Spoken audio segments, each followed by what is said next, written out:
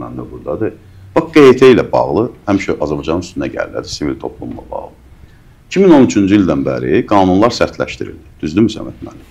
Qanunlar sərtləşdirəndə nə baş verdi? Bunlar getdilər underground-a. Getdilər boz zonaya. Və Azərbaycan hökuməti də görür ki, kimsə kimsə pul gətirir, cibdən cibə pul gəlir. Bunun adını qoydu ə, qaçaqmalçılıq. Bir sürü insanı həbs elədi. Bir dəstə insanı həbs elədi. Bu nədən baş verdi? Qanunvericilik sərtləşəndən sonra qeydiyyatdan keçilmədilər ə, layihələri və nəticə itibarilə də bu Qərbin də əlinə, Qərbin bəzi dairələrində əlinə çox yaxşı bir alətə çevrildi ki, Azərbaycanda hesabatsız, hesabsız, kitabsız, nəzarətsiz bir şəbəkələr qursunlar. Düzdürmü? Biz 4 dənə qanun layihəsi təklif elədik 21-ci ildə. Dedik ki, gəlin qeydə qanunvericiliyi dəyişək. Hər şey onsuz da Azərbaycan hakimiyyətinin, hüquq mühafizə orqanlarının üzr istəyirəm sənin mənim fikrimi tamamlayım. Yəni gözünüzün qarşısında olsun da hesabı Azərbaycan bankında olsun. Layihəsi Ədliyyə Nazirliyində qeydiyyatdan keçsin və s. və s. və s. Necə ki 13-cü, 14-cü ilə qədər də belə idi.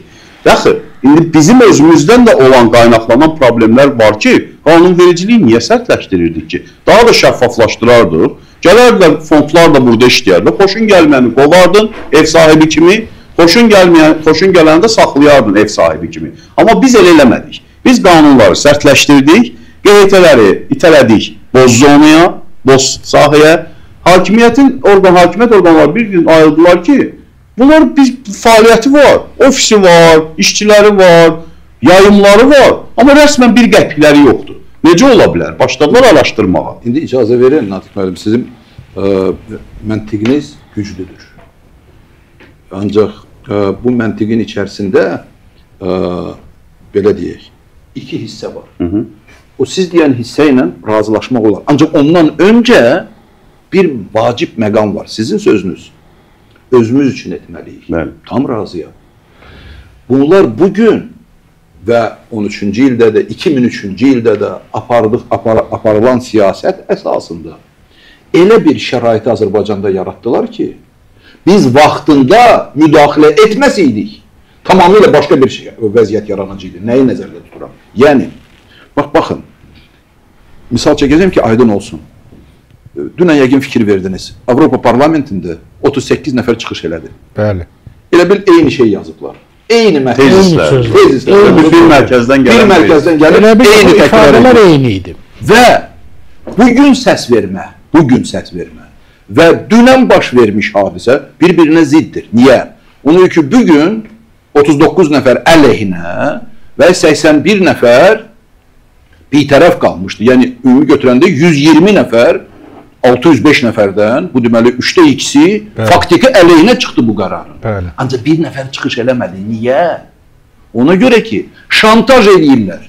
Kim Azərbaycanın lehinə çıxış edəcəksə, kim hansısa bir müsbət söz deyəcəksə, ona deyəcək korrupsionersən, gedib Azərbaycanla əlaqə yoxmusan. Niyə mən bu misal çəkdim? Qərbin bəzi strukturları Azərbaycanda o vaxtlar qanunvericilikdə boşluqlardan istifadə edərək qeyri-qanuni fəaliyyətlə məşğul olublar. Qeyri-qanuni.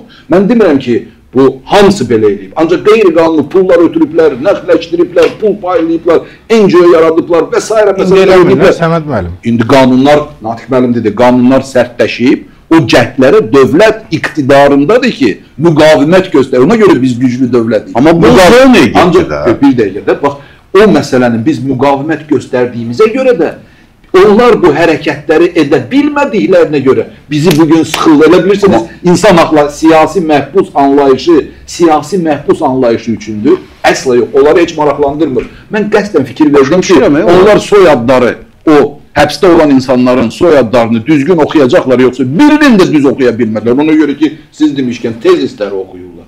Ona görə bu nöqteyi nəzərdən biz mən razıyam sizinlə ki, balans tapmalıyıq. O balans bizə xeyirlidir. Hansı səviyyədə bu məsələni etmək. Ancaq balansın pozulmasının təşəbbüskarı Azərbaycan deyil. Niyə?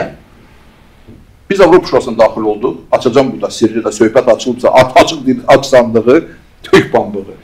Deməli biz Avropa Şurasında o siyasi məhbus məsələsində sizinlə tam razıyam. Onun ki bir komissiya yaradıldı siyasi məhbusla bağlı. Orada mütəxəssislər var idi, məşhur mütəxəssislər Cemçevski var idi və s. ki, siyasi məhbus hələ dünyada formalaşmır. Bir hüquqi termin kimi var. Biz bunu Azərbaycana tən, e, şamil etməliyik. Ancaq söhbət ondan deyil.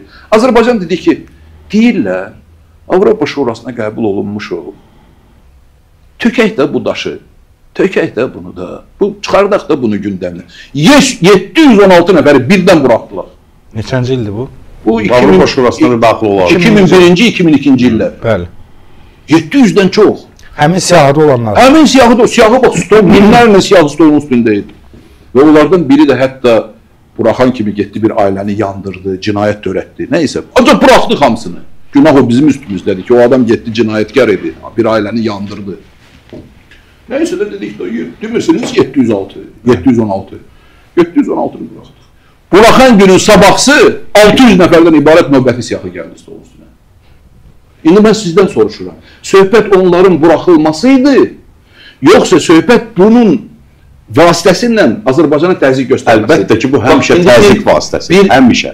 əzbər öyrəndiyimi, öyrəndiyim Azərbaycanın Avropa Şurası qarşısında bir öhdəlik idi. Görün necə bizə öhdəlik qəbul etdiriblər.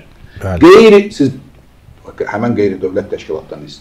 Qeyri-dövlət təşkilatları tərəfindən siyasi məhbus kimi təqdim olunan şəxslər dərhal ya azadlığa buraxılmalı, ya onların işlərinə yenidən baxılmalı. Nöqtə Azərbaycanın öhdəliyi kimi qəbul etdirdilər. Və o demək idi ki, dövlət bütün funksiyalarını bütün funksiyalarını verdi qeyri-dövlət təşkilatına. Sabah mən yaradıram qeyri-dövlət təşkilatı. Misal üçün ekologiya ilə, ekologiya ilə məşğul olan. Yazılmır baxı spesifikası. Deyirəm ki, Səməd Seyidov siyasi məhbusdur. Dərhal buraxılmalıdır. Dərhal dövlət buraxılmalıdır. Bəli, orada korrupsiya da olur, orada başqa şeylər də olur. Ona görə dövlət buna qarşı müqavimət göstərməyə başlayanda dünya da başladı bax, həmən qərb başladı bizi